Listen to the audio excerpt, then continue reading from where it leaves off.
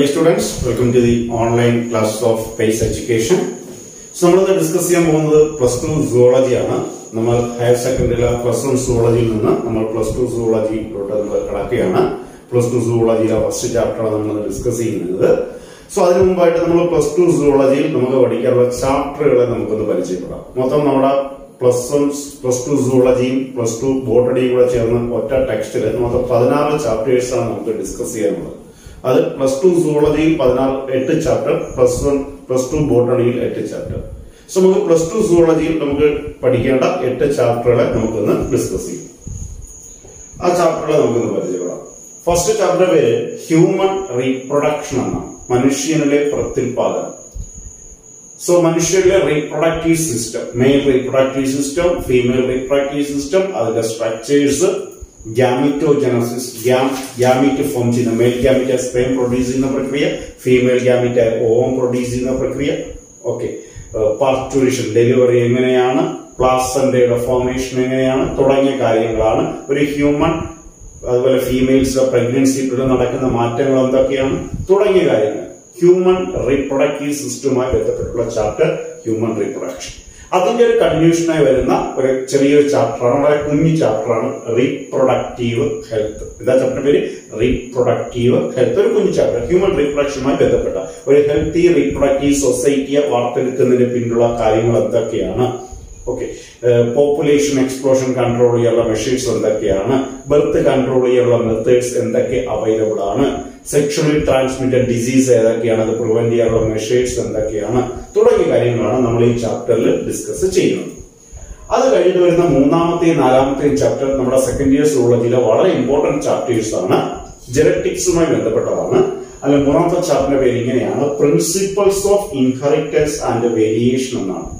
Inheritance എന്ന് പറഞ്ഞാൽ ഒരു തലമുറയിൽ നിന്ന് അടുത്ത തലമുറയിലേക്ക് സ്വഭാവങ്ങൾ കൈമാറ്റം ചെയ്യപ്പെടുന്ന പ്രക്രിയ. നമുക്കറിയാം നമ്മൾ പറയും നമ്മുടെ കുഞ്ഞുങ്ങൾക്കെല്ലാം പാരന്റ്സിന്റെ സ്വഭാവങ്ങൾ അതേപോലെ പകർന്നു കിട്ടാറുണ്ട്. എന്നാൽ പാരന്റ്സ് നിന്ന് കുഞ്ഞുങ്ങൾ ധാരാളം വ്യത്യാസങ്ങളും കാണിക്കും. ഒരു വീട്ടിലുള്ള മാതാപിതാക്കളെ കുഞ്ഞുങ്ങളിൽ തന്നെ ധാരാളം സിമിലാരിറ്റീസും ഉണ്ട് വേരിയേഷൻസും ഉണ്ട്. അപ്പൊ പാരന്റ്സ് ഒന്ന് കുഞ്ഞുങ്ങളിലേക്ക് സ്വഭാവങ്ങൾ കൈമാറുന്ന ആ പ്രക്രിയക്കാണ് നമ്മൾ ഇൻഹെറിറ്റൻസ് എന്ന് പറയുന്നത്. അതുപോലെ പേരൻസ് ഒന്ന് കുഞ്ഞുങ്ങൾ കാണിക്കുന്ന വ്യത്യാസങ്ങൾക്കാണ് നമ്മൾ വേരിയേഷൻസ് എന്ന് പറയുന്നത്. സോ ഇതെല്ലാം ജനറ്റിക്സുമായി ബന്ധപ്പെട്ടതാണ്. അപ്പൊ ഈ ഇൻഹെറിറ്റൻസിന്റെയും വേരിയേഷന്റെയും മെക്കാനിസം പ്രിൻസിപ്പിൾസ് എന്തൊക്കെയാണെന്ന് നമ്മൾ പഠിക്കുന്നത്.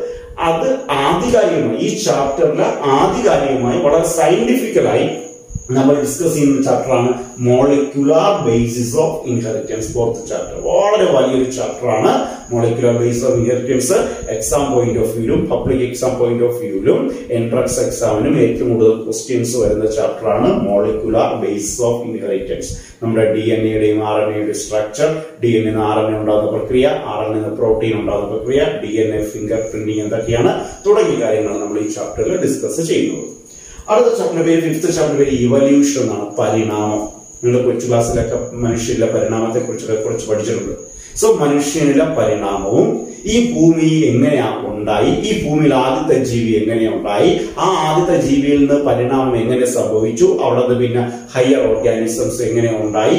ഇവല്യൂഷനുമായി ബന്ധപ്പെട്ട കുറെ തിയറീസ് എല്ലാം ഉണ്ട്. ഇതിനെ കുറിച്ചൊക്കെ പഠിക്കുന്ന ചാപ്റ്ററാണ് ഇവല്യൂഷൻ അടുത്ത ചാപ്റ്റർ പേര് ഇങ്ങനെയാണ്. സിക്സ് ചാപ്റ്റർ പേര് ഇങ്ങനെയാണ്. ഹ്യൂമൻ ഹെൽത്ത് ആൻഡ് ഡിസീസസ് മനുഷ്യന്റെ ആരോഗ്യവും മനുഷ്യന്റെ ആരോഗ്യത്തെ സാരമായി ബാധിക്കുന്ന അസുഖങ്ങളും ഇപ്പൊ എക്സാം നമ്മളെല്ലാവരും ഒരു കോവിഡ് പാൻഡമിക്കിലാണ് അല്ലെ? കോവിഡ് എന്ന് പറയുന്ന കൊറോണ വൈറസ് ഉണ്ടാക്കുന്ന കോവിഡ് നയന്റീൻ എന്ന് പറയുന്ന മഹാമാരി കൊണ്ട് അനുഭവിക്കുക അതിന്റെ പീഡ കൊണ്ട് അനുഭവിക്കുകയാണ് നമ്മുടെ ലോകം മുഴുവനും. അതിൽ ഏറ്റവും കൂടുതൽ അൾബേഴ്സായി ബാധിച്ചുകൊണ്ടിരിക്കുന്നതാണ് നമ്മുടെ രാജ്യം ഇന്ത്യ അല്ലെ? ഫസ്റ്റ് ഫേസിൽ നിന്ന് സെക്കൻഡ് ഫേസിലോട്ട് എത്തിയപ്പോൾ ലോകത്തിലെ ഏറ്റവും കൂടുതൽ അത് അഫക്ട് ചെയ്യപ്പെട്ട ഒരു കൺട്രിയായി നമ്മുടെ ഇന്ത്യ മാറിക്കൊണ്ടിരിക്കുന്നു. അതിന്റെ ആ ആഫ്റ്റർ എഫക്ട്സ് നമ്മുടെ കേരളത്തിലും അലയടിക്കുകയാണ് അപ്പൊ അതുകൊണ്ട് തന്നെ മനുഷ്യനിലുണ്ടാകുന്ന അസുഖങ്ങൾ മനുഷ്യന്റെ ഹെൽത്ത് എങ്ങനെയാണ് ഈ ഹെൽത്തിനെ മറ്റ് രോഗാണുക്കൾ അഫക്ട് ചെയ്യുന്നത് എങ്ങനെയാണ് ആ ഡിസീസുകൾ ഏതൊക്കെയാണ് അതിന്റെ സിംറ്റംസ് എന്തൊക്കെയാണ് തുടങ്ങിയ കാര്യങ്ങളാണ് നമ്മൾ ഈ ചാപ്റ്ററിൽ പഠിക്കുന്നത്. ഹ്യൂമൻ ഹെൽത്ത് ആൻഡ് ഡിസീസസ് അടുത്ത ചാപ്റ്റർ വരും. സെവന്ത് ചാപ്റ്റർ വരും. കുഞ്ഞു ചാപ്റ്ററാണ് microbes in human welfare microorganism microbes എന്നുവെച്ചാൽ മൈക്രോ ഓർഗാനിസം നമ്മൾ മൈക്രോ ഓർഗാനിസം എന്ന് കേൾക്കുമ്പോൾ സൂക്ഷ്മ ജീവജാലങ്ങൾ സൂക്ഷ്മാണുക്കൾ എന്ന് കേൾക്കുമ്പോൾ നമ്മുടെ എല്ലാവരും മനസ്സിലോട്ട് വരുന്നത് they are harmful to the mankind മനുഷ്യരാശിക്ക് അത് ദോഷകരമാണ്. എന്ന് പറഞ്ഞാൽ പാത്തോജനിക് ആണ് രോഗകാരികളാണെന്ന് പറയും. എന്നാൽ ഈ ഭൂമിയിലുള്ള എല്ലാ മൈക്രോ ഓർഗാനിസവും ഹാംഫുൾ അല്ല. മനുഷ്യന് ബെനിഫിഷ്യറീസ് ആയിട്ടുള്ള മനുഷ്യന്റെ നന്മയ്ക്ക് വേണ്ടി നിലകൊള്ളുന്ന മനുഷ്യന്റെ പുരോഗതിക്ക് വേണ്ടി നിലകൊള്ളുന്ന മനുഷ്യന്റെ നേട്ടങ്ങൾക്ക് വേണ്ടി നിലകൊള്ളുന്ന ധാരാളം മൈക്രോ ഓർഗാനിസംസ് ഉണ്ട്. ഓക്കെ അങ്ങനെയുള്ള മനുഷ്യന് ബെനിഫിഷ്യർ ആയിട്ടുള്ള മനുഷ്യന്റെ വെൽഫെയറിന് വേണ്ടി നിലകൊള്ളുന്ന മൈക്രോ ഓർഗാനിസിനെ കുറിച്ചാണ് നമ്മൾ ഈ ചാപ്റ്റർ പഠിക്കുന്നത്. നമുക്കറിയാം ഒരു എക്സാമ്പിൾ പറഞ്ഞാൽ ആന്റിബയോട്ടിക്സ് നമ്മൾ പല അസുഖങ്ങൾക്കും അല്ലെ മൈക്രോ ഓർഗാനിസം തന്നെ ഉണ്ടാക്കുന്ന പല അസുഖങ്ങൾക്കും ഉള്ള മരുന്നുകളായി നമ്മൾ ഉപയോഗിക്കുന്നതാണ് ആന്റിബയോട്ടിക്സ് ഈ ആന്റിബയോട്ടിക്സ് നമ്മൾ വേർതിരിച്ചെടുക്കുന്നത് മറ്റ് മൈക്രോ ഓർഗാനിസം നിന്നാണ്. അപ്പോൾ മനുഷ്യന് ബെനിഫിഷ്യറീസ് ആയിട്ടുള്ള ധാരാളം മൈക്രോ ഓർഗാനിസംസ് ഉണ്ട്. അവരെ നമ്മൾ പരിചയപ്പെടുന്ന അവരുടെ ആപ്ലിക്കേഷൻസ് എല്ലാം നമ്മൾ പഠിക്കുന്ന ചാപ്റ്ററാണ് microbes in human welfare the last chapter is biodiversity and conservation biodiversity എന്ന് പറഞ്ഞാൽ ജൈവ വൈവിധ്യം. ഈ ഭൂമിയിലുള്ള ജീവൻ സമ്പത്ത്. ഈ ഭൂമിയിൽ കാണപ്പെടുന്ന ജീവജാലങ്ങൾ. പ്ലാന്റ്സും ആനിമൽസും എല്ലാം കൂടെ ചേരുന്ന ഭൂമിയിലുള്ള എല്ലാ ജീവജാലങ്ങളെയും ഉൾപ്പെടുത്തിക്കൊണ്ട് പറയുന്നവരാണ് ബയോഡൈവേഴ്സിറ്റി സോ ഈ ജൈവ വൈവിധ്യം ഈ പ്രകൃതി എന്നൊക്കെ പറയാം. അതിനെ നമ്മൾ എന്ത് ചെയ്യണം? കൺസർവ് ചെയ്യണം സംരക്ഷിക്കണം. സോ ഓരോ വർഷം കഴിയും തോറും നമ്മുടെ ഭൂമിയിൽ നിന്ന് ധാരാളം ജീവജാലങ്ങൾ പ്ലാന്റ്സ് ആയിക്കോട്ടെ ആനിമൽസ് ആയിക്കോട്ടെ different types of species of plants and animals extinct ആയിക്കൊണ്ടിരിക്കുകയാണ്. വംശനാശത്തിന് വിധേയമായിക്കൊണ്ടിരിക്കുകയാണ്. ഇങ്ങനെ ഈ വംശനാശം തുടർന്നുകൊണ്ട് കഴിഞ്ഞാൽ കുറെ നാൾ കഴിയുമ്പോൾ ഈ ഭൂമിയിൽ ജീവജാലങ്ങളുടെ എണ്ണം വളരെയധികം കുറയുകയും മറ്റ് ജീവജാലങ്ങൾക്ക് ഇവിടെ ജീവിക്കാൻ പറ്റാത്ത സിറ്റുവേഷൻ എത്തും. നമുക്കറിയാം ഇവിടെയുള്ള ഭൂമി ജീവജാലങ്ങളെല്ലാം പരസ്പരം ഇൻഡിപെൻഡന്റ് ആണ്. ഫോർ എക്സാമ്പിൾ നമുക്ക് മറ്റ് ജീവജാലങ്ങൾ ഇവിടെ ജീവിക്കാൻ പറ്റത്തില്ല ഫോർ എക്സാമ്പിൾ ഗ്രീൻ പ്ലാന്റ്സ് ഇവിടെ ജീവിക്കാൻ പറ്റുമോ? ഇല്ല. അവരാണ് ഓക്സിജൻ പ്രൊഡ്യൂസ് ചെയ്യുന്നത് പ്രൊവൈഡ് ചെയ്യുന്നത്. അപ്പൊ എല്ലാ ജീവജാലങ്ങളും പരസ്പരം ഇൻഡിപെൻഡന്റ് ആയിട്ടാണ് ഈ ഭൂമിയിൽ നിലകൊള്ളുന്നത്. അപ്പൊ എല്ലാ ജീവജാലങ്ങൾക്കും ഇവിടെ ജീവിക്കാനുള്ള റൈറ്റ് ഉണ്ട്. അത് നമ്മൾ എന്ത് ചെയ്യണം? പ്രൊട്ടക്ട് ചെയ്യണം. ഇവിടുത്തെ ഏറ്റവും കൂടുതൽ സുഖ സമൃദ്ധികൾ അനുഭവിക്കുന്നത് മനുഷ്യനാണ്. അതുകൊണ്ട് മനുഷ്യൻ വരും തലമുറയെ കുറിച്ചുകൂടെ ചിന്തിച്ച് അവർക്കൂടെ വേണ്ട ജീവസമ്പത്ത് ഇവിടെ ഉറപ്പുവരുത്തേണ്ടതാണ് അപ്പൊ ഇവിടെയുള്ള ജീവസമ്പത്ത് നമ്മൾ എന്ത് ചെയ്യണം? സംരക്ഷിക്കണം. അപ്പൊ എന്താണ് ബയോഡൈവേഴ്സിറ്റി? അതിനെ അതിന്റെ നഷ്ടങ്ങളെ അതിന്റെ ലോസിനെ സാരമായി ബാധിക്കുന്ന ഭാഗങ്ങൾ എന്തൊക്കെയാണ്? അത് നമുക്ക് എങ്ങനെ ഓവർകം ചെയ്യാം? എങ്ങനെ സംരക്ഷിക്കാം? തുടങ്ങിയ കാര്യങ്ങളാണ് നമ്മൾ ചാപ്റ്ററിൽ ഡിസ്കസ് ചെയ്യുന്നത്. ഓക്കെ അങ്ങനെ മൊത്തം എട്ട് ചാപ്റ്ററാണ് നമുക്ക് സെക്കൻഡ് ഇയർ സോളജിയിൽ ഡിസ്കസ് ചെയ്യാനായിട്ടുള്ളത്. അതിൽ ഒന്നാമത്തെ ചാപ്റ്ററോട് നമുക്ക് പോവാം. ഹ്യൂമൻ റീപ്രൊഡക്ഷൻ ചാപ്റ്റർ പേരെന്താണ്? ഹ്യൂമൻ റീപ്രൊഡക്ഷൻ മനുഷ്യനിലെ പ്രത്യുൽപാദനം. മനുഷ്യനിലെ റീപ്രൊഡക്ഷൻ എങ്ങനെയാണ്? എന്ന് പഠിക്കാം. സോ ഹ്യൂമൻ റീപ്രൊഡക്ഷനിലോട്ട് വരുമ്പോൾ എന്താണ് റീപ്രൊഡക്ഷൻ എന്ന് പറഞ്ഞാൽ? Reproduction is the production of young ones by an organism ഒരു ജീവി കുഞ്ഞുങ്ങളെ പ്രൊഡ്യൂസ് ചെയ്യുന്ന പ്രക്രിയക്ക് നമുക്ക് പൊതുവായി എന്ത് പറയാം? റീപ്രൊഡക്ഷൻ ഒരു simple definition reproduction is the production of young ones by an organism ഒരു ജീവി അതിന്റെ കുഞ്ഞുങ്ങളെ അതിന്റെ സ്വഭാവങ്ങളോട് കൂടിയ കുഞ്ഞുങ്ങളെ ഉത്പാദിപ്പിക്കുന്ന പ്രക്രിയ. എന്തിനു വേണ്ടി എന്ന് വെച്ചാൽ അതിന്റെ വംശം നിലനിർത്തുക to maintain its generation so ഒരു ജീവി അതിന്റെ വംശം നിലനിർത്തുന്നതിന്റെ ഭാഗമായി അതിന്റെ സ്വഭാവങ്ങളോട് കൂടിയ കുഞ്ഞുങ്ങളെ പ്രൊഡ്യൂസ് ചെയ്യുന്ന പ്രക്രിയ പറയുന്ന പേരാണെന്ത് റീപ്രൊഡക്ഷൻ സോ ഹ്യൂ നമ്മൾ ഹ്യൂമൻ റീപ്രൊഡക്ഷനെ കുറിച്ചാണ് ചിന്തിക്കുന്നത്. അപ്പൊ ഹ്യൂമൻസ് എങ്ങനെയാണെന്ന് വെച്ചാൽ എല്ലാ ജീവജാലങ്ങളിലെയും റീപ്രൊഡക്ഷൻ ഒരുപോലെയല്ല. സെക്ഷൽ റീപ്രൊഡക്ഷൻ ഉണ്ട് അസെക്ഷൽ റീപ്രൊഡക്ഷൻ ഉണ്ട് അല്ലെ? ലൈംഗിക പ്രത്യുൽപാദനമുണ്ട് അലൈംഗിക പ്രത്യുൽപാദനമുണ്ട്. ഹ്യൂമൻസ് എന്ന് പറയുന്നത് ഹ്യൂമൻസ് ആർ സെക്ഷലി റീപ്രൊഡ്യൂസിങ് മനുഷ്യൻ എങ്ങനെയാണ്? സെക്ഷൽ റീപ്രൊഡക്ഷൻ ആണ് നടക്കുന്നത് സെക്ഷലി റീപ്രൊഡ്യൂസിങ് ആണ്. എന്നുവെച്ചാൽ ഗ്യാമിക് ഫോർമേഷൻ ഈ ഗ്യാമിക് ഫ്യൂസ് ചെയ്ത് സൈഗോട്ട് ഉണ്ടാകുന്നു സൈഗോട്ട് വളർന്ന ഒരു ഓർഗാനിസം ഒരു മോണായി മാറുന്നു. എന്നാൽ വേറെ പല ജീവജാലങ്ങളിൽ അസെക്ഷൽ ബാക്ടീരിയയിലോ ഫംഗസിലൊക്കെ ചില പ്ലാന്റ്സിലൊക്കെ എന്തുണ്ട്? അസെക്ഷൽ റീപ്രൊഡക്ഷൻ നടക്കുന്നുണ്ട്. ഹ്യൂമൻസ് എന്ന് പറയുന്നത് സെക്ഷലി റീപ്രൊഡ്യൂസിംഗ് ആണ്. സെക്ഷലി റീപ്രൊഡ്യൂസിംഗും അസെക്ഷൽ റീപ്രൊഡക്ഷനും തമ്മിലുള്ള പ്രധാനപ്പെട്ട ഡിഫറൻസ് സെക്ഷൽ റീപ്രൊഡക്ഷനിൽ രണ്ട് പാരന്റ് വേണം. മെയിൽ പാരന്റും ഫീമെയിൽ പാരന്റും എന്നാൽ അസെക്ഷൽ റീപ്രൊഡക്ഷൻ ഒരു ഒറ്റ പാരന്റ് ഇതൊക്കെ നമ്മൾ കഴിഞ്ഞ വർഷം ഫസ്റ്റ് ചാപ്റ്റർ വേൾഡിൽ ഡിസ്കസ് ചെയ്തിട്ടുള്ളതാണ്. അപ്പൊ ഹ്യൂമൻസ് എന്ന് പറയുന്നത് സെക്ഷലി റീപ്രൊഡ്യൂസിംഗ് ആണ് ആൻഡ് വി വി പാരസ് ആണ്. നമ്മൾ കഴിഞ്ഞ വർഷം ആനിമൽ കിങ്ഡത്തിൽ ഈ വേർഡ് പഠിച്ചതാണ് viviparous viviparous എന്ന് വെച്ചാൽ that give birth to youngs കുഞ്ഞുങ്ങളെ പ്രസവിക്കുന്നവരെ വിളിക്കുന്ന പേരാണ് വി വി പാരസ് അപ്പൊ മനുഷ്യൻ എന്ന് പറയുന്നത് സെക്ഷൽ റീപ്രൊഡക്ഷൻ ആണ് കാണിക്കുന്നവരാണ്. അതോടൊപ്പം ഗിവ് ബർത്ത് ടു യങ്സ് ആണ് കുഞ്ഞുങ്ങളെ പ്രസവിക്കുന്നവരാണ്. അത് നമ്മൾ എന്ത് വിളിക്കും? വി വി പാരസ് ഇപ്പൊ എഗ് ലേയിങ് ആണെന്നുണ്ടെങ്കിൽ അവർ നമ്മൾ ഓവി പാരസ് എന്ന് പറയും. ബേർഡ്സ് ഒക്കെ ഓവി പാരസ് ആണ് അല്ലെ? സോ ഹ്യൂമൻസ് എന്ന് പറയുന്നത് സെക്ഷലി റീപ്രൊഡ്യൂസിങ് ആണ് വി വി പാരസ് ആണ്. ഗിവ് ബർത്ത് ടു എൻമോൺസ് ആണ്. സോ ഹ്യൂമൻ റീപ്രൊഡക്റ്റീവ് സിസ്റ്റത്തിലോട്ട് വരുമ്പോൾ ഹ്യൂമൻ റീപ്രൊഡക്ഷൻ പഠിക്കുമ്പോൾ മനുഷ്യരിലെ പ്രത്യുത്പാദന വ്യവസ്ഥ പഠിക്കുമ്പോൾ പുരുഷ പ്രത്യുത്പാദന വ്യവസ്ഥയും സ്ത്രീ പ്രത്യുത്പാദന വ്യവസ്ഥയും സെപ്പറേറ്റ് ആയി ഡിസ്റ്റിംഗ്വിഷ് ചെയ്ത് പഠിക്കണം. മെയിൽ റീപ്രൊഡക്റ്റീവ് സിസ്റ്റവും female reproductive system so male reproductive system discuss ചെയ്യണം. നമ്മൾ ഫീമെയിൽ റീപ്രൊഡക്റ്റീവ് സിസ്റ്റം ഡിസ്കസ് ചെയ്യാം ആദ്യം നമുക്ക് എന്തിലോട്ട് പോവാം? മെയിൽ റീപ്രൊഡക്റ്റീവ് സിസ്റ്റത്തിലോട്ട് പോവാം.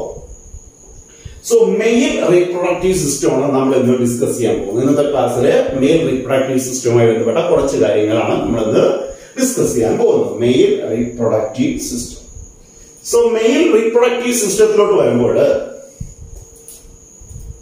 നമുക്ക് മെയിൽ റീപ്രൊഡക്റ്റീവ് സിസ്റ്റവുമായി ബന്ധപ്പെട്ട പാർട്സ് എന്തൊക്കെയാണ് ആദ്യം ഒന്ന് പരിചയപ്പെടാം എന്നിട്ട് ഓരോന്നായി ഡിസ്കസ് ചെയ്യാം. Male reproductive system consist of paired testis paired testis accessory ducts accessory glands and external genitalia നാല് ഭാഗം male reproductive system consist of paired testes, accessory ducts, accessory glands, and external genitalia. അത് പേർഡ് ടെസ്റ്റിസ് ടെസ്റ്റിസ് എന്ന് പറഞ്ഞാൽ മലയാളത്തിലെ വൃഷണങ്ങൾ എന്ന് പറയും. മനുഷ്യനിലെ പുരുഷനിലെ പ്രൈമറി സെക്സ് ഓർഗൻ ആണ് ടെസ്റ്റിസ് ഇതാണ് സ്പേം മെയിൽ ഗാമിറ്റ് ആയ സ്പേം പ്രൊഡ്യൂസ് ചെയ്യുന്നത്. അതിനെ കുറിച്ച് ഡീറ്റെയിൽ നമുക്ക് സ്ട്രക്ചർ ഡിസ്കസ് ചെയ്യാം പേർഡ് ടെസ്റ്റിസ് ഒരു ജോഡി ടെസ്റ്റിസ് ഒരു ജോഡി കൃഷ്ണങ്ങൾ that produce sperm then accessory duct accessory means secondary സഹായിക്കുന്ന ഡക്റ്റുകൾ കുഴലുകൾ മെയിൻ റീപ്രൊഡക്ഷനുമായി ബന്ധപ്പെട്ട കുഴലുകൾ ഡാക്സ് എന്ന് പറഞ്ഞാൽ ഈ ടെസ്റ്റിസ് പ്രൊഡ്യൂസ് ചെയ്യുന്ന സ്പേമിനെ ക്യാരി ചെയ്യുന്നവർ എന്നർത്ഥം ടെസ്റ്റിസ് പ്രൊഡ്യൂസ് ചെയ്യുന്ന സ്പേമിനെ വഹിച്ചുകൊണ്ട് പോകുന്നവർ ക്യാരി ചെയ്യുന്നവർ. അവരെയാണ് നമ്മൾ ആക്സസറി ഡാക്സ് എന്ന് പറയുന്നത്. അടുത്ത ആക്സസറി ഗ്ലാൻസ് അതായത് മെയിൽ റീപ്രൊഡക്ഷനുമായി ബന്ധപ്പെട്ട ഗ്ലാൻസ് ചില മെയിൽ റീപ്രൊഡക്ഷന് വേണ്ട ചില സെക്രീഷൻസ് ഉത്പാദിപ്പിക്കുന്ന ചില എൻസൈമുകളോ മറ്റു ചില രാസവസ്തുക്കളൊക്കെ ഉത്പാദിപ്പിക്കുന്ന ഗ്ലാൻഡുകളുണ്ട് ആക്സസറി ഗ്ലാൻസ് മെയിൽ റീപ്രൊഡക്ഷനുമായി ബന്ധപ്പെട്ട glands external genitalia external means ഏറ്റവും പുറമേ പുറമേ കാണാൻ കഴിയുന്ന ജനൈറ്റേരിയ എന്ന് പറഞ്ഞാൽ അർത്ഥം റീപ്രൊഡക്റ്റീവ് സിസ്റ്റത്തിന് വേറൊരു പേരാണ് ജനൈറ്റൽ സിസ്റ്റം മനസ്സിലാക്കുക? റീപ്രൊഡക്റ്റീവ് സിസ്റ്റത്തിന് പറയുന്ന വേറൊരു പദമാണ് ജനൈറ്റൽ സിസ്റ്റം അപ്പൊ ജനൈറ്റൽ എന്ന് പറഞ്ഞാൽ റീപ്രൊഡക്ഷനുമായി ബന്ധപ്പെട്ട പേരാണ്. അപ്പൊ മെയിൻ റീപ്രൊഡക്റ്റീവ് സിസ്റ്റത്തിൽ നമുക്ക് പുറമെ വിസിബിൾ ആയിട്ടുള്ള കണ്ണുകൊണ്ട് കാണാൻ കഴിയുന്ന പുറമെ വിസിബിൾ ആയിട്ടുള്ള ഭാഗം എന്ന് പറയും ഭാഗങ്ങൾക്കാണ് നമ്മൾ എക്സ്റ്റേണൽ ജനൈറ്റേരിയ എന്ന് പറയുന്നത്. അതിൽ മെയിൽസിന്റെ എക്സ്റ്റേണൽ ജനറ്റ് ഏരിയ പുറമേ കാണാൻ കഴിയുന്ന റീപ്രൊഡക്റ്റീവ് പാർട്ട് എന്ന് പറയുന്നത് പെനിസ് ആണ്. മെയിൽ റീപ്രൊഡക്റ്റീവ് സിസ്റ്റത്തിന്റെ എക്സ്റ്റേണൽ ആയിട്ടുള്ള ജനൈറ്റൽ പാർട്ട് എന്ന് പറയുന്നത് പെനിസ് അതാണ് കോപ്പുലേറ്ററി സ്ട്രക്ചർ കോപ്പുലേഷന്റെ സെക്ഷൽ കോണ്ടാക്ട് മെയ്റ്റിംഗ് ഇനം ചേരാൻ എന്നൊക്കെ പറയാം. സെക്ഷൽ കോണ്ടാക്ട് ഏർപ്പെടാൻ സഹായിക്കുന്ന സ്ട്രക്ചർ അതിനകത്തുള്ള യുറേത്രയൊക്കെ പാസ് ചെയ്യുന്നത്. ഓക്കെ അതിലൂടെയാണ് മെയിൽ സെക്രീഷൻസ് എല്ലാം മെയിൽ റീപ്രൊഡക്റ്റീവ് സെക്രീഷൻസ് എല്ലാം വരുന്നത്. അപ്പൊ ഇതെല്ലാം നമ്മൾ വളരെ ഡീറ്റെയിൽ ഡിസ്കസ് ചെയ്യുമ്പോൾ പഠിക്കുക. മെയിൽ റീപ്രൊഡക്റ്റീവ് സിസ്റ്റം എന്ന് പറയുന്നത് consist of paired testis accessory ducts accessory glands and external genitalia അതുമായി ബന്ധപ്പെട്ട ഒരു ചെറിയ എല്ലാ കാര്യങ്ങളും ഉൾപ്പെടുത്തുന്ന ഒരു പിക്ചറാണ് ഈ കാണിച്ചിരിക്കുന്നത് നമുക്ക് ഓരോന്നും ഡിസ്കസ് ചെയ്യാം. ഓക്കെ ആദ്യം നമുക്ക് ടെസ്റ്റിസ് തുടങ്ങാം. നോക്കിയേ. പയേർഡ് ടെസ്റ്റിസ് Testes are the primary sex organs that produce sperms and testosterone. മെയിൽസില ടെസ്റ്റിസ് ഒരു ജോഡി ടെസ്റ്റിസ് എന്ന് പറയുന്നത് മെയിൽസിന്റെ പ്രൈമറി സെക്സ് ഓർഗൻ ആണ് അപ്പൊ അതിന്റെ അർത്ഥം സെക്സ് ഓർഗൻസിനെ നമുക്ക് രണ്ടായിട്ട് ഡിവൈഡ് ചെയ്യാം. പ്രൈമറി സെക്സ് ഓർഗൻസ് എന്നും സെക്കൻഡറി സെക്സ് ഓർഗൻസ് എന്നും മനസ്സിലാക്കാം സെക്സ് ഓർഗൻസ് നമുക്ക് രണ്ടായിട്ട് ക്ലാസിഫൈ ചെയ്യാം. സെക്സ് ഓർഗൻസിനെ രണ്ടായിട്ട് നമുക്ക് ക്ലാസിഫൈ ചെയ്യാം.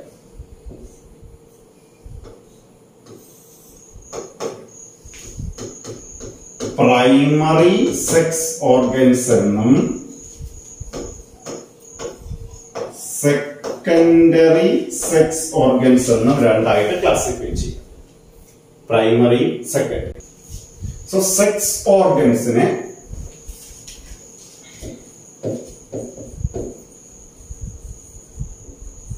നമുക്ക് രണ്ടായിട്ട് ക്ലാസിഫൈ ചെയ്യാം. പ്രൈമറി സെക്സ് ഓർഗൻസ് എന്നും സെക്കൻഡറി സെക്സ് ഓർഗൻസ് എന്നും നമുക്ക് രണ്ടായിട്ട് ക്ലാസിഫൈ ചെയ്യാം. എന്താണ് പ്രൈമറി സെക്സ് ഓർഗൻസ് എന്ന് പറഞ്ഞാൽ ഒരു സെക്സ് ഓർഗന്റെ ഫങ്ഷൻ പ്രൊഡ്യൂസ് ഗ്യാമീറ്റ്സ് ആണെങ്കിൽ ഗ്യാമീറ്റിനെ ഉത്പാദിപ്പിക്കുക എന്നുള്ളതാണ് ഒരു സെക്സ് ഓർഗന്റെ ഫങ്ഷൻ എങ്കിൽ അതിനെ നമുക്ക് എന്ത് വിളിക്കാം? Primary the sex organ that concern with the production of gametes are called primary sex organ അത് ഫീമെയിൽ ആയാലും മെയിൽ ഗ്യാമിറ്റ് പ്രൊഡ്യൂസ് ചെയ്യുന്ന സ്ട്രക്ചർ ആരാണോ അത് മെയിൽസിന്റെ പ്രൈമറി സെക്സ് ഓർഗൻ ഫീമെയിൽ ഗ്യാമിനെ പ്രൊഡ്യൂസ് ചെയ്യുന്ന സ്ട്രക്ചർ ആയതാണോ അത് ഫീമെയിൽസിന്റെ പ്രൈമറി സെക്സ് ഓർഗൻ ഈ പ്രൈമറി സെക്സ് ഓർഗൻ പ്രൊഡ്യൂസ് ചെയ്യുന്ന ഗ്യാമീറ്റ്സിനെ ക്യാരി ചെയ്യുന്നവർ അതിനെ വഹിച്ചുകൊണ്ട് പോകുന്നു.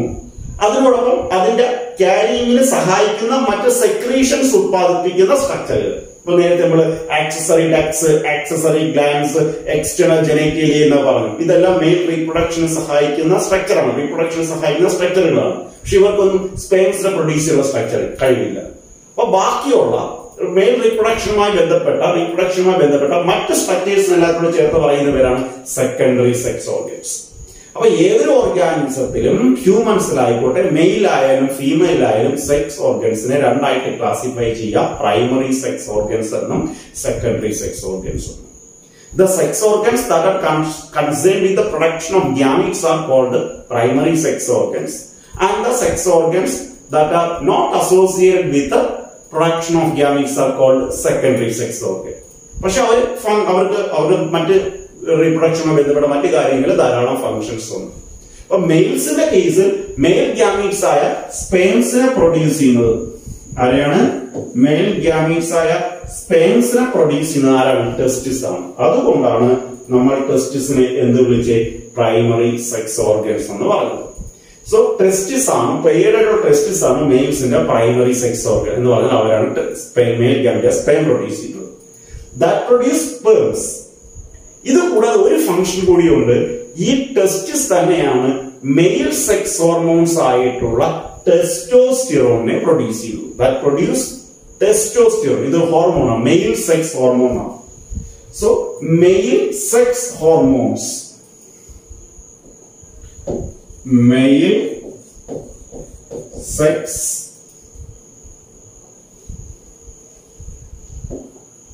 hormones male sex ഹോർമോൺസിന് നമ്മൾ മൊത്തത്തിൽ പറയുന്ന പേരാണ് ആൻഡ്രോജൻസ് എന്ന് പറയും കേട്ടോ. മെയിൽ സെക്സ് ഹോർമോൺസ് പല ടൈപ്പുകളുണ്ട് എല്ലാത്തിനെയും കൂടെ ചേർത്ത് പറയുന്ന പേരാണ് ആൻഡ്രോജൻ അതിൽ ഏറ്റവും പ്രധാനപ്പെട്ട ആൻഡ്രോജൻ ആണ് testosterone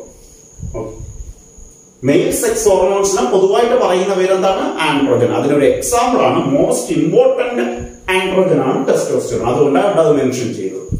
Okay So paired testes are the primary sex organ in males that produce sperms and testosterone. അപ്പൊ ഇത് നമ്മൾ പഠിച്ചത് ടെസ്റ്റിസിന് എത്ര ഫംഗ്ഷൻ രണ്ട് function production of സ്പേമും production of male sex hormones called androgens and most important testosterone ഇനി ടെസ്റ്റിസിന്റെ ലൊക്കേഷനും മറ്റു കാര്യങ്ങളും പഠിക്കാം. Testis are formed within the abdomen testis form ചെയ്യുന്നത് എവിടെയാണ്? അബ്ഡോമനിലാണ് testis are formed within the abdomen ആരുടെ അബ്ഡോമൻ ഫോം ചെയ്യുന്നത് മെയിൽ ചൈൽഡിന്റെ അബ്ഡോമിനൽ ക്യാവിറ്റിയിലാണ് ടെസ്റ്റിസ് ഫോം ചെയ്യുന്നത്. Testis are formed within the abdomen എപ്പോഴും ഇൻ ദ എംബ്രിയോണിക് സ്റ്റേജ് ഒരു ലേഡി അവരുടെ എംബ്രിയോണിക് സ്റ്റേജിൽ ഒരു മെയിൽ ചൈൽഡിനെ ക്യാരി ചെയ്യണമെന്ന് വിചാരിക്കുക ഒരു ലേഡി അവരുടെ എംബ്രിയോ അവരുടെ പ്രഗ്നൻസി ടൈമിൽ ഒരു കുഞ്ഞിനെ മെയിൽ ചൈൽഡിനെ എംബ്രിയോണിക് സ്റ്റേജിൽ ക്യാരി ചെയ്യുകയാണ് യൂട്രസ് ആ മെയിൽ ചൈൽഡ് അമ്മയുടെ യൂട്രസിൽ എംബ്രിയോണിക് സ്റ്റേജിൽ കിടക്കുമ്പോൾ തന്നെ ആ എംബ്രിയോയുടെ അബ്ഡോമനകത്ത് ഒരു മെയിൽ ചൈൽഡിന്റെ മെയിൽ എംബ്രിയോയുടെ അബ്ഡോമനകത്ത് അല്ല അമ്മയുടെ അബ്ഡോമനകത്തല്ല പറഞ്ഞത് മെയിൽ ചൈൽഡിന്റെ മെയിൽ എംബ്രിയോയുടെ അബ്ഡോമനകത്ത് ടെസ്റ്റിസ് ഫോം ചെയ്യും.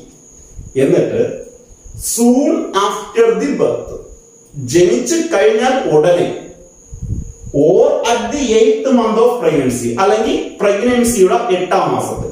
പ്രഗ്നൻസി എന്ന് പറയുന്നത് നോർമലി നയൻ മന്ത് ആണ് ടു സെവന്റി ഡേയ്സ് ആണ്. അല്ലെ? നോർമലി നമ്മൾ പ്രസവം എന്ന് പറയുന്നത് ഇവിടെ പത്ത് മാസം എന്ന് പറഞ്ഞാൽ പത്ത് മാസം ഇല്ല ടു സെവന്റി ഡേയ്സ് ആണ് നയൻ മന്ത്സും പിന്നെ ടെൻ ഡേയ്സ് ഒക്കെ വരുന്നത്.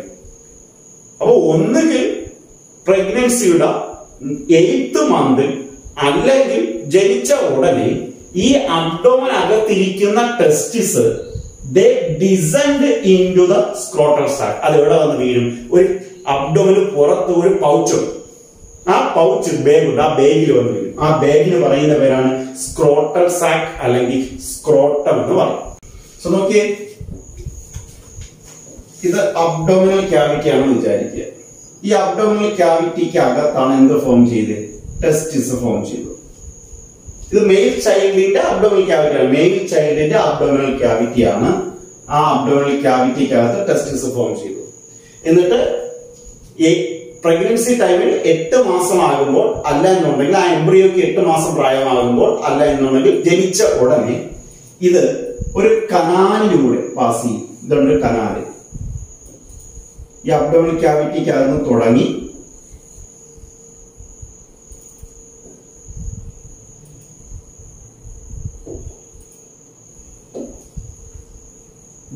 പുറത്തായിട്ട് ഒരു പൗച്ചുണ്ട്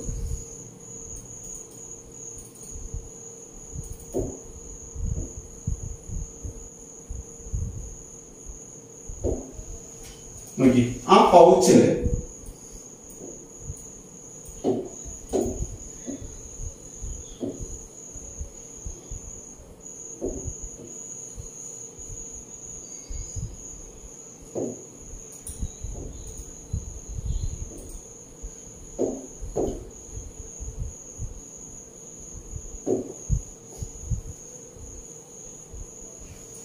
ഇതാണ് പൗച്ച്. ഓക്കെ. ഈ പൗച്ചിൽ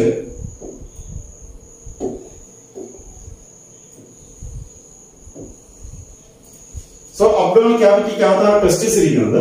ഈ ടെസ്റ്റിസ് ഒന്നുകിൽ എംബ്രിയോയ്ക്ക് എട്ട് മാസമാകുമ്പോൾ അല്ലെങ്കിൽ ജനിച്ച ഉടനെ ഈ അബ്ഡോമിനൽ ക്യാവിറ്റിക്കകത്തിരിക്കുന്ന ഈ ടെസ്റ്റിസ് വന്ന് എവിടെ വന്ന് വീഴും? ഈ പൗച്ച് ഈ പൗച്ചിന്റെ പേരാണ് ഈ ബ്ലാക്ക് കളറിൽ കാണുന്ന പൗച്ചിന്റെ പേരാണ് സ്ക്രോട്ടം എന്താ പേര്?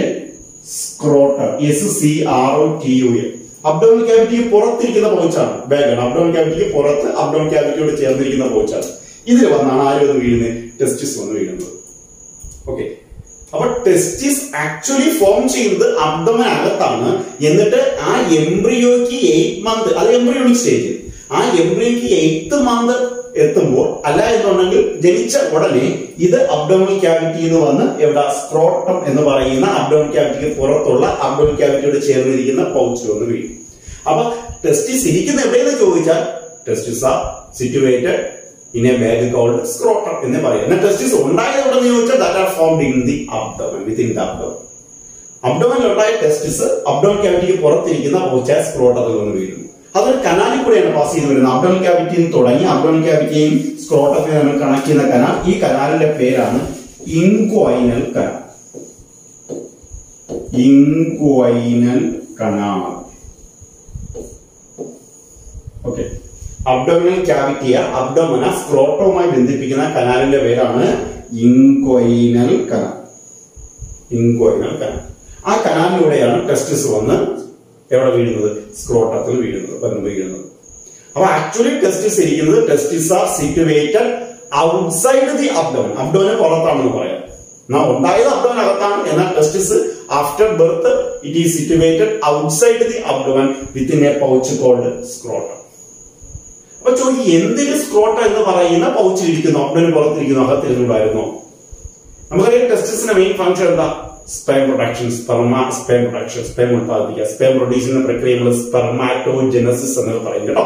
സ്പെർമാറ്റോജനസിസ് ഇതവരെ സ്പെയിൻ പ്രൊഡ്യൂസ് ചെയ്യുന്ന പ്രക്രിയയുടെ പേര് സ്പെർമാറ്റോജനസിസ് ഇതോടെ പേരുണ്ട്. സ്പെർമാറ്റോജനസിസ് ഓക്കെ ഈ ടെസ്റ്റിസിന്റെ മെയിൻ ഫംഗ്ഷൻ സ്പെർമാറ്റോജനസിസ് ഈ സ്പെർമാറ്റോജനസിസ് വളരെ ഇഫക്റ്റീവായി നടക്കുന്നത് ഒരു ലോ ടെമ്പറേച്ചറിലാണ് നമുക്കറിയാം നമ്മുടെ നോർമൽ ബോഡി ടെമ്പറേച്ചർ എന്ന് പറയുന്നത് തേർട്ടി സെവൻ ഡിഗ്രി സെൽഷ്യസ് ആണ്. നമ്മുടെ ശരീരത്തിനകത്തുള്ള എല്ലാ ആന്തരിക അവയവങ്ങളും എല്ലാ ഇന്റേണൽ ഓർഗൻസും പ്രോപ്പറായി ഫംഗ്ഷൻ ചെയ്യുന്നത് തേർട്ടി സെവൻ ഡിഗ്രി സെൽഷ്യസിലാണ് എന്നാൽ ടെസ്റ്റിസിന് ഈ ടെമ്പറേച്ചറിൽ പ്രോപ്പറായി അതിന്റെ ഫംഗ്ഷൻ നിർവഹിക്കാം എന്ന് പറഞ്ഞാൽ സ്പെർമാറ്റോജനസിസ് സ്പെം പ്രൊഡ്യൂസ് ചെയ്യാൻ പറ്റത്തില്ല. ടെസ്റ്റിസിനെ വളരെ ഇഫക്റ്റീവായി ഫംഗ്ഷൻ ചെയ്യണമെങ്കിൽ സ്പെയിം വളരെ ഇഫക്റ്റീവായി പ്രൊഡ്യൂസ് ചെയ്യണമെങ്കിൽ വേണ്ട ടെമ്പറേച്ചർ എന്ന് പറയുന്നത് thirty four point five to thirty five degree Celsius ആണ്. എത്ര വേണ്ടത്? Thirty thirty thirty four point five to thirty five degree Celsius ആണ് വേണ്ടത്. Thirty four point five to thirty five degree Celsius അതായത് നമ്മുടെ നോർമൽ ബോഡി ടെമ്പറേച്ചറിൽ നിന്ന് ഒരു two to two point five degree Celsius കുറയണം. Normal body temperature thirty seven ആണ്. അതിൽ നിന്ന് ഒരു two to two point five degree Celsius കുറഞ്ഞാൽ മാത്രമേ ടെസ്റ്റിസിന് പ്രോപ്പറായി ഫംഗ്ഷൻ ചെയ്യാൻ പറ്റത്തുള്ളൂ. അപ്പൊ ഇത് അബ്ഡമനകത്ത് ഇരുന്നാൽ പറ്റത്തില്ല. അബ്ഡമനകത്ത് ടെമ്പറേച്ചർ തേർട്ടി സെവൻ ആണ്. ആ ടെമ്പറേച്ചറിൽ ടെസ്റ്റിസിന് അതിന്റെ ഫംഗ്ഷൻ നിർവഹിക്കാൻ പറ്റത്തില്ല. അതുകൊണ്ടാണ് ടെസ്റ്റിസിന് അതിന് പ്രോപ്പറായി ഫംഗ്ഷൻ ചെയ്യുവാൻ വേണ്ടിയാണ് അബ്ഡമിന് പുറത്തുള്ള ഒരു ബാഗായ സ്ക്രോട്ടത്തിൽ അതിനെ കീപ്പ് ചെയ്യുന്നത്. സിറ്റുവേറ്റ് ചെയ്യുന്നത് അപ്പോൾ അബ്ഡോമിന് പുറത്താകുമ്പോൾ അബ്ഡോമിന് പുറത്ത് അബ്ഡോമിന് ചേർന്ന ഒരു ബാഗിലാകുമ്പോൾ അവിടുത്തെ ടെമ്പറേച്ചർ ഈ പറഞ്ഞ thirty four point five to thirty five degree Celsius ആയി മെയിന്റെയിൻ ചെയ്യാൻ പറ്റും. ടെസ്റ്റസിന് പ്രോപ്പറായി ഫംഗ്ഷൻ ചെയ്യാൻ പറ്റും. ഇഫക്റ്റീവായി സ്പെയിൻ പ്രൊഡക്ഷൻ നടത്താൻ പറ്റും. അപ്പോൾ വളരെ ഇമ്പോർട്ടന്റ് ക്വസ്റ്റ്യൻ ആണ് നമ്മൾ പഠിച്ചത്. What is the advantage of location of testis outside the abdomen അബ്ഡോമിന് പുറത്ത് ടെസ്റ്റിസ് ലൊക്കേറ്റ് ചെയ്യുന്നത് കൊണ്ട് ഇരിക്കുന്നതിനുള്ള അഡ്വാന്റേജ് എന്താണ്? ആ അഡ്വാന്റേജ് നമ്മൾ പഠിച്ചത്. The low temperature of scrotum സ്ക്രോട്ടത്തിലെ temperature വളരെ കുറഞ്ഞ ടെമ്പറേച്ചർ ആണ്. അതിൽ എത്രയാണ്? Two two two point five degree Celsius less than the body temperature body ടെമ്പറേച്ചറിൽ നിന്ന് ഒരു two two two point five degree Celsius കുറവാണ് സ്ക്രോട്ടത്തിലെ ടെമ്പറേച്ചർ ആ ടെമ്പറേച്ചർ എന്തിനെ സഹായിക്കുന്നു? Helps for proper functioning of testis ടെസ്റ്റിസിനെ അതിന്റെ പ്രോപ്പർ ഫംഗ്ഷൻ നിർവഹിക്കാൻ ആൻഡ് ഫോർ സ്പെർമാറ്റോജനസിസ് അല്ലെ പ്രോപ്പർ ഫംഗ്ഷനിങ് എന്ന് പറയുന്നത് സ്പെർമാറ്റോജനസിസ് ആണ്. സ്പെം പ്രൊഡക്ഷനും മെയിൽ സെക്സ് ഹോർമോൺസിന്റെ പ്രൊഡക്ഷനും അപ്പൊ ടെസ്റ്റിസിന് അതിന്റെ പ്രോപ്പർ ഫംഗ്ഷൻ നിർവഹിക്കാനായിട്ടും സ്പെം പ്രൊഡക്ഷൻ ഇഫക്റ്റീവായി നടക്കാനും വേണ്ട ടെമ്പറേച്ചർ എന്ന് പറയുന്നത് two to two point five degree Celsius less than the body temperature ആണ്. ആ ബോഡി ടെമ്പറേച്ചർ മെയിന്റെയിൻ ചെയ്യുവാൻ വേണ്ടിയാണ് ടെസ്റ്റിസ് അബ്ഡോമിന് പുറത്തുള്ള വേഗായ സ്ക്രോട്ടത്തിലിരിക്കുന്നത് സോ വളരെ ഇമ്പോർട്ടന്റ് ക്വസ്റ്റ്യൻ ആണ് ഡിസ്കസ് ചെയ്തത്. ക്വസ്റ്റ്യൻ ഇങ്ങനെയാണ്. What is the advantage of location of testis outside the abdomen അബ്ഡോമിന് പുറത്ത് ഒരു ബേഗായ സ്ക്രോട്ടത്തിൽ ടെസ്റ്റിസ് ഇരിക്കുന്നതിനുള്ള അഡ്വാന്റേജ് ആൻസർ ആണ് the low temperature of scrotum that is 2 to 2.5 degrees Celsius less than the body temperature helps the testis for its proper functioning and for effective spermatogenesis.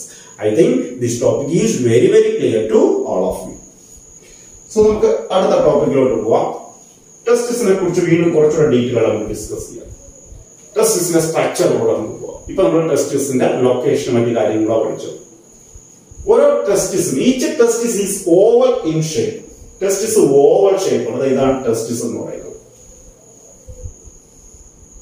ടെസ്റ്റിസ് oval shape ആണ് testis കണ്ടോ? Testis oval shape ആണ്. Each testis is oval shape ഇനി അതിന്റെ dimension നോക്കിയാൽ length എന്ന് പറയുന്നത് four to five centimetre length ഉണ്ട്.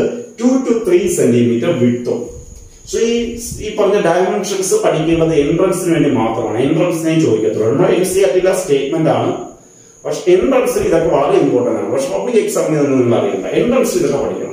ടെസ്റ്റിസ് over shape ആണ്. അതിന്റെ ലെങ്ത് എന്ന് പറയുന്നത് എത്രയാണ്? അതിന്റെ ലെങ്ത് എന്ന് പറയുന്നത് four to five centimetre width എന്ന് പറയുന്നത് എത്രയാണ്? Two to three centimetre so ഓരോ ടെസ്റ്റിസും ഓവർ ഷേപ്പ് ആണ്. Four to five centimetre length two to three centimetre width നമുക്ക് ഓരോ ടെസ്റ്റിസ് എടുത്താൽ ഓരോ ടെസ്റ്റിസിനെയും ഏകദേശം ഇരുന്നൂറ്റി അൻപതോളം കമ്പാർട്ട്മെന്റുകളായി ഡിവൈഡ് ചെയ്തിട്ടുണ്ട്. ഓക്കെ ഓരോ ടെസ്റ്റിസിനും നോക്കിയേ. ഓരോ ടെസ്റ്റിസിനെ ഈ ടെസ്റ്റിസ് നോക്കി ഇവിടെ ഓരോ കമ്പാർട്ട്മെന്റുകൾ ഉണ്ടോ ഇങ്ങനെ ഇങ്ങനെ ഇൻവേഡ് ഓരോ കമ്പാർട്ട്മെന്റുകൾ കണ്ടോ? നല്ലപോലെ ശ്രദ്ധിച്ചു നോക്കി. ഓ ഇത് ടെസ്റ്റിസ് ആണ് ടെസ്റ്റിസ് ഇതാ ഇതൊരു കമ്പാർട്ട്മെന്റ് ഇതൊരു കമ്പാർട്ട്മെന്റ് ഇതൊരു കമ്പാർട്ട്മെന്റ് ഇതൊരു കമ്പാർട്ട്മെന്റ് ഇതൊരു കമ്പാർട്ട്മെന്റ് ഇതൊരു കമ്പാർട്ട്മെന്റ് കുറെ കമ്പാർട്ട് ഏകദേശം ഇരുന്നൂറ്റി അൻപതോളം കമ്പാർട്ട്മെന്റുകളായി ഡിവൈഡ് ചെയ്തിട്ടുണ്ട് ഓരോ ടെസ്റ്റിസിനെ ഇപ്പൊ പരിശ്രമം ഇത് ടെസ്റ്റിസ് ആണെന്ന് വിചാരിക്കുക. ഇത് ടെസ്റ്റിസ് ആണെന്ന് വിചാരിക്കുക.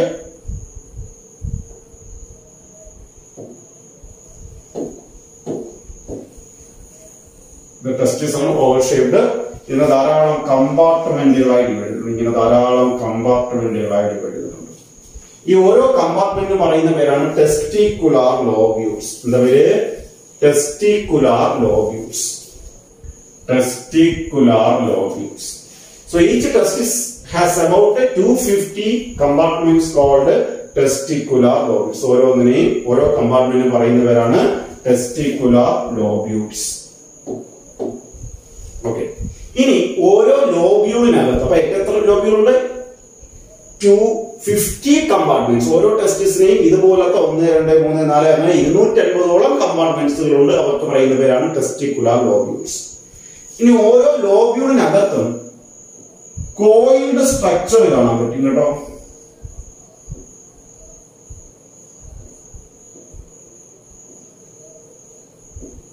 ഇതുപോലത്തെ കോയിൽഡ് സ്ട്രക്ചറുകൾ ചുരുളു ചുരുളായിരിക്കുന്ന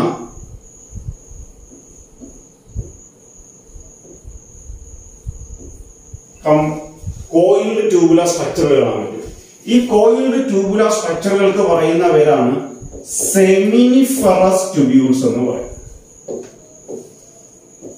seminiferous tubules okay so each lobule contains one two three coiled seminiferous tubules ഓരോ ലോബ്യൂളിനകത്തും മിനിമം ഒന്ന് മാക്സിമം മൂന്ന് വരെ കോയിൽഡ് ആയിട്ടുള്ള ചുരുളുകളായിരിക്കുന്ന ലോബ്യൂൾസ് ഉണ്ട് ട്യൂബ്യൂൾസ് ഉണ്ട്. അതിന് പറയുന്ന പേരാണ് സെമിനിഫറസ് ട്യൂബ്യൂൾസ് നോക്കി ഈ ലോ ഈ ടെസ്റ്റിക്കുലർ ലോബിനകത്ത് കുറെ ചുള്ളുകൾ ഇരിക്കുന്നുണ്ടോ ഉണ്ടോ? ഈ കോയിൽഡ് ആയിട്ടുള്ള ട്യൂബ്യൂൾസിന് പറയുന്ന പേരാണ് സെമിനിഫറസ് ട്യൂബ്യൂൾസ് എന്ന് പറയും സെമിനിഫറസ് ട്യൂബ്യൂൾസ് അപ്പൊ ഓരോ ടെസ്റ്റിസിനെയും ഏകദേശം ഇരുന്നൂറ്റി അൻപതോളം കമ്പാർട്ട്മെന്റുകളായി ഡിവൈഡ് ചെയ്തിട്ടുണ്ട്. അവരെ നമുക്ക് ടെസ്റ്റിക്കുലാർ ലോബ്യൂൾസ് എന്ന് പറയാം. ഓരോ ലോബ്യൂളിനകത്തും ഒന്ന് മുതൽ മൂന്ന് വരെ കോയിൽഡ് ആയിട്ടുള്ള ട്യൂബുകളുണ്ട്. ഇവർക്ക് പറയുന്ന പേരെന്താണ്? സെമിനി സെമിനിഫറസ് ട്യൂബ്യൂൾസ് ഇനി നമുക്ക് സെമിനിഫറസ് ട്യൂബുകൾ ഒരു സെമി ഇപ്പൊ നമുക്ക് ഇതൊരു സെമിനിഫറസ് ട്യൂബുകളാണെന്ന് വിചാരിക്കുക.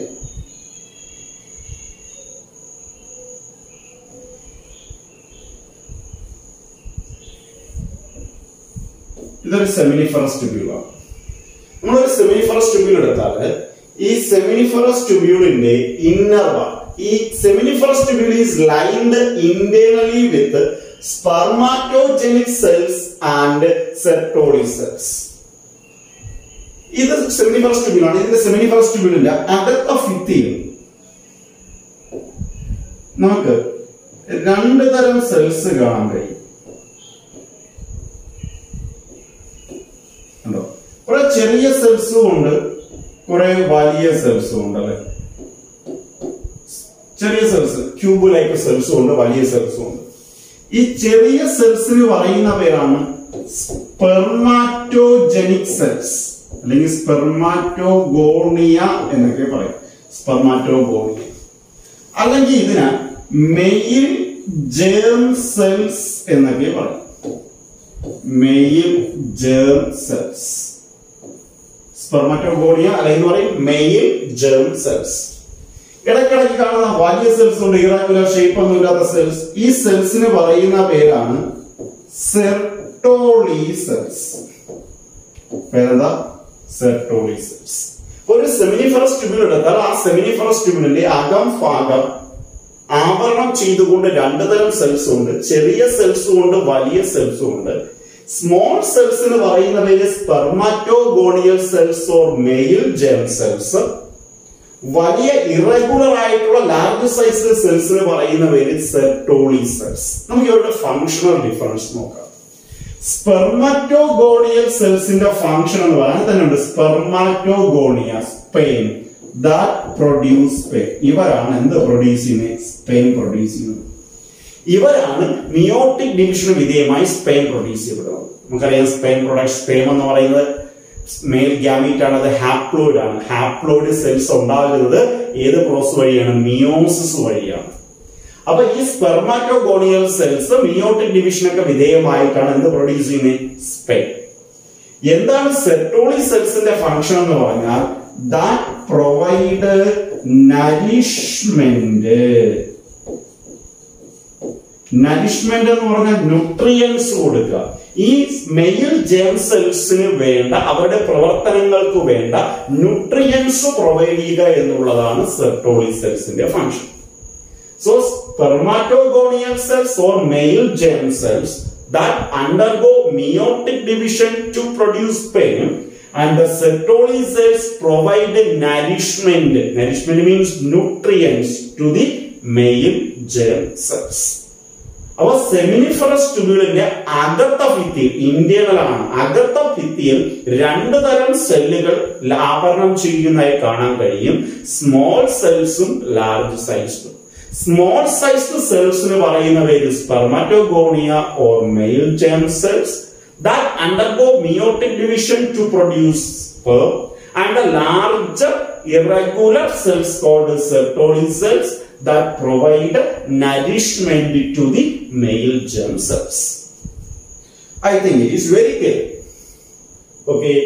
അതാണ് ഇവിടെ പറഞ്ഞിരിക്കുന്നത് seminiferous tubule is lined internally with spermatogenic cells that means spermatogonia or male genic cells and Sertoli cells Sertoli cells നമ്മൾ സപ്പോർട്ടിംഗ് സെൽസ് എന്ന് പറയും ഇത് പറയും supporting cells cells give shape and nourishment to developing spermatogonia ഈ male germ സെൽസിന് develop ചെയ്യുന്ന develop ചെയ്യുന്ന spermatogenic സെൽസിന് അല്ലെങ്കിൽ മെയിൽ ജെം സെൽസിന് വേണ്ട ഷേപ്പും അതിന് വേണ്ട നരിഷ്മെന്റും എല്ലാം പ്രൊവൈഡ് ചെയ്യുന്നത് സെർട്ടോളി ആണ്.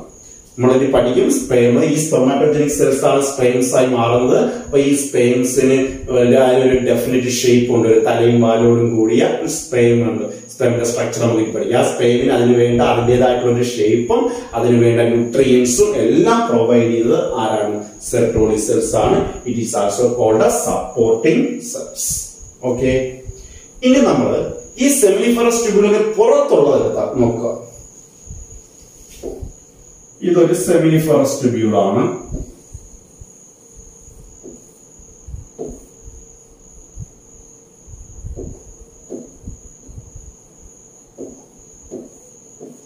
ഇത് വേറൊരു സെമിനിഫറസ് ട്യൂബ്യൂൾ ഓക്കെ അടുത്തടുത്തിരിക്കുന്ന രണ്ട് സെമിനിഫറസ് ട്യൂബ്യൂൾ എന്ന് വിചാരിക്കും ഒരു ടെസ്റ്റിക്കുലർ ലോബ്യൂൽ രണ്ടടുത്തടുത്തിരിക്കുന്ന സെമിനിഫറസ് ട്യൂബ്യൂൾ ഈ രണ്ട് സെമിനിഫറസ് ട്യൂബ്യൂളിടയ്ക്ക് ഒരു സ്പേസ് ഉണ്ടോ? ഈ സ്പേസിന് അതായത് സെമിനിഫറസ് ട്യൂബ്യൂളിന് പുറത്തുള്ള സ്പേസ് എന്ന് പറയാം. Outer region of the seminiferous tubule ഈ സ്പേസ് നമ്മൾ പറയുന്ന പേരാണ് ഇന്റർ സ്റ്റീഷ്യൽ സ്പേസ് എന്ന് പറയും. ഇന്റർസ്റ്റീഷ്യൽ സ്പേസ് ഈ ഇൻഡസ്ട്രീഷ്യൽ സ്പേസിൽ കുറച്ച് സെൽസുകൾ കുറച്ച് ഗ്രൂപ്പ് ഓഫ് സെൽസ് നമുക്ക് ഇങ്ങനെ സ്കാപ്പ് ചെയ്ത് കിടക്കുന്നതായിട്ട് കാണാൻ കഴിയും. ഇൻഡസ്ട്രീഷ്യൽ സ്പേസ് ഈ സെൽസിന് ഇന്റർസ്റ്റീഷ്യൽ സ്പേസിലുള്ള സെൽസിന് നമ്മൾ ഇങ്ങനെ പറയാം ഇന്റർ സ്റ്റീഷ്യൽ സെൽസ് എന്ന് പറയാം. അല്ലെങ്കിൽ ഇങ്ങനെ വായിക്കാം Leydig cells Leydig cells Leydig എന്ന് പറയുന്നത് സയന്റിസ്റ്റ് ആണ് Franz von Leydig so the region outer of the seminiferous tubule. The outer region of the seminiferous tubule is called interstitial space, which contains some cells called interstitial cells or Leydig cells. എന്താണ് ഇവരുടെ function interstitial cells or Leydig cells that produce male sex hormones called androgens. നമ്മൾ നേരത്തെ പഠിച്ചു mail sex hormones എന്ന് പറയുന്നവരാണ് androgens അതിൽ ഏറ്റവും പ്രധാനപ്പെട്ട ആൻഡ്രോജൻ ആണ് ടെസ്റ്റോസ്റ്റിറോൺ അത് പ്രൊഡ്യൂസ് ചെയ്യുക എന്നുള്ളതാണ് ഇൻഡസ്ട്രീഷ്യൽ സെൽസിന്റെ function the function of Leydig cells is to produce male sex hormones called androgens അപ്പൊ നമ്മൾ ഡിസ്കസ് ചെയ്തത് ടെസ്റ്റിസിനകത്തുള്ള കമ്പാർട്ട്മെന്റലായ ടെസ്റ്റിക്കുലർ ലോബ്യൂൾസ് ഓരോ ടെസ്റ്റിസിനെ ഏകദേശം ഇരുന്നൂറ്റി അൻപതോളം കമ്പാർട്ട്മെന്റുകളായി ഡിവൈഡ് ചെയ്യുന്നു. അവർ വിളിക്കുന്ന പേര് ടെസ്റ്റിക്കുലാർ ലോബ്യൂൾ. ഓരോ ലോബ്യൂളിനകത്തും ഒന്ന് മുതൽ മൂന്ന് വരെ കോയിൽഡ് ട്യൂബുലാർ സ്ട്രക്ചർ ഉണ്ട്. അവർക്ക് പറയുന്നു സെമിനിഫറസ് ട്യൂബ്യൂൾ. ഓരോ സെമിനിഫറസ് ട്യൂബിളിന്റെയും അകത്ത ഭിത്തി ആവരണം ചെയ്തുകൊണ്ട് രണ്ട് തരം സെൽസ് സ്മോൾ സൈസ്ഡും ലാർജ് സൈസ്ഡും small sized സെൽസിനെ spermatogonial cells or male germ cells എന്ന് പറയുന്നു. ലാർജ് ഇറഗുലർ സെൽസിനെ സെപ്റ്റോളി സെൽസ് എന്ന് പറയുന്നു. Male that undergo meiotic division to produce sperm. Sertoli cells in a function that provide shape and nourishment to the developing male germ cells. They are also called as supporting cells. Seminiferous ട്യൂബിന് പുറത്തുള്ള സ്പേസിനെ interstitial space എന്ന് പറയുന്നു അവിടെയുള്ള സെൽസിനെ interstitial cells or Leydig cells എന്ന് പറയുന്നു അതിന്റെ function produce male sex hormones called androgens ചാപ്റ്ററിന്റെ തുടക്കത്തിൽ നമ്മൾ പറഞ്ഞു ടെസ്റ്റിസിന് രണ്ട് ഫംഗ്ഷൻ ഉണ്ട്. ടെസ്റ്റിസ് പയ്യേഡ് ടെസ്റ്റിസ് മെയിൽസിന്റെ പ്രൈമറി സെക്സ് ഓർഗൻ ആണ്. അതിന് രണ്ട് ഫംഗ്ഷൻ ഉണ്ട്. പ്രൊഡ്യൂസ് സ്പേമും പ്രൊഡ്യൂസ് ആൻഡ്രോജൻസും അതിൽ സ്പേം പ്രൊഡ്യൂസ് ചെയ്യുന്ന സെൽസിന്റെ പേര് male germ cells or spermatogonia അതിരിക്കുന്നത് seminiferous ട്യൂബിളിന്റെ അകത്താണ് അകത്ത ഭിത്തിയിലാണ് എന്നാൽ സെക്സ് ഹോർമോൺസ് ആയ ആൻഡ്രോജൻസ് പ്രൊഡ്യൂസ് ചെയ്യുന്ന സെൽസ് ഇരിക്കുന്നത് സെമിനിമർ ട്യൂബിളിന് പുറത്തുള്ള സ്പേസ് ആ സ്പേസിന്റെ പേര് ഇൻഡസ്ട്രീഷ്യൽ സ്പേസ് അപ്പൊ നമ്മൾ സെമിനിഫറസ് ട്യൂബിൾ പഠിക്കുമ്പോൾ അതുമായി ബന്ധപ്പെട്ട മൂന്ന് തരം സെൽസ് പഠിക്കണം. Male germ cells or spermatogonia Sertoli cells and cells ഇതിൽ മെയിൽ ജെം സെൽസും സെർട്ടോളി സെൽസും ഇരിക്കുന്നത് on the inner wall of seminiferous tubule Leydig cells ഇരിക്കുന്നത് outer region of the seminiferous tubule so നമ്മൾ ഒന്നാം ചാപ്റ്ററിന്റെ ചാപ്റ്ററിന്റെ ഫസ്റ്റ് ചാപ്റ്റർ സെക്കൻഡ് ഇയർ സോളജിയിലെ ഫസ്റ്റ് ചാപ്റ്റർ ഹ്യൂമൻ റീപ്രൊഡക്ഷന്റെ ഒരു ഇൻട്രൊഡക്ഷൻ ആണ് ഒരു ഇൻട്രൊഡക്റ്റീവ് പാർട്ടാണ് ഫസ്റ്റ് ക്ലാസ്സിൽ നമ്മൾ ഡിസ്കസ് ചെയ്തത്. Human reproductive system male reproductive സിസ്റ്റത്തിലെ പാർട്സ് ആയ പ്രൈമറി സെക്സ് ഓർഗനായ പെയർ ടെസ്റ്റിസും അതിന്റെ സ്ട്രക്ചറും അതിനകത്തുള്ള സെമിനിഫറസ് സെൽസും മറ്റു കാര്യങ്ങളുമാണ് ഡിസ്കസ് ചെയ്തത്. ഇനി ടെസ്റ്റിസുമായി ബന്ധപ്പെട്ട മറ്റു കാര്യങ്ങൾ അതിനകത്ത് ഇനി വേറെ ഡക്റ്റുകൾ മറ്റു കാര്യങ്ങൾ നമ്മൾ ഡിസ്കസ് ചെയ്യണം. ഗ്ലാൻഡുകൾ ഡിസ്കസ് ചെയ്യണം എക്സ്റ്റേണൽ ജനറ്റിയിലെ ഡിസ്കസ് ചെയ്യണം. അവിടെ മെയിൽ റിപ്രഡക്റ്റീവ് സിസ്റ്റം കംപ്ലീറ്റ് ആയുള്ളൂ. അത് നമുക്ക് അടുത്ത ക്ലാസ്സിൽ വളരെ ഡീറ്റെയിൽ ആയിട്ട് നമുക്ക് എന്ത് ചെയ്യാം? ഡിസ്കസ് ചെയ്യാം. ഇപ്പോൾ നിങ്ങൾ ഈ കടന്ന് വരുന്ന ഈ റെക്കോർഡ് നമ്മൾ വയ്ക്കുന്ന തരുന്ന ഈ വീഡിയോ ക്ലാസ് നല്ല രീതിയിൽ കാണുക. ഇതിന്റെ നോട്ട് സ്വന്തമായിട്ട് പ്രിപ്പയർ ചെയ്യുക. ഈ ക്ലാസ് കഴിഞ്ഞതിന് ശേഷം ഈ ചാപ്റ്ററിന്റെ വീഡിയോ ക്ലാസ് കഴിഞ്ഞ ശേഷം നിങ്ങൾക്ക് നോട്ട് നമ്മൾ പി ഡി എഫ് ആയിട്ട് തരുന്നതായിരിക്കും. പക്ഷെ അതിന് മുമ്പ് ഓരോ ക്ലാസ് കാണുമ്പോൾ അപ്പോൾ തന്നെ നോട്ടുമായി ഇരുന്ന് വേണം നിങ്ങൾ ക്ലാസ് കാണേണ്ടത്. അപ്പോൾ തന്നെ അത് അതിന്റെ കൂടെ തന്നെ ക്ലാസ് കാണുമ്പോൾ തന്നെ പ്രധാനപ്പെട്ട നോട്ട്സ് ഒരു ലെക്ചർ നോട്ടാക്കി പ്രിപ്പയർ ചെയ്യാൻ ശ്രമിക്കുക. കൂടെ പഠിച്ചു വരിക. Okay thank you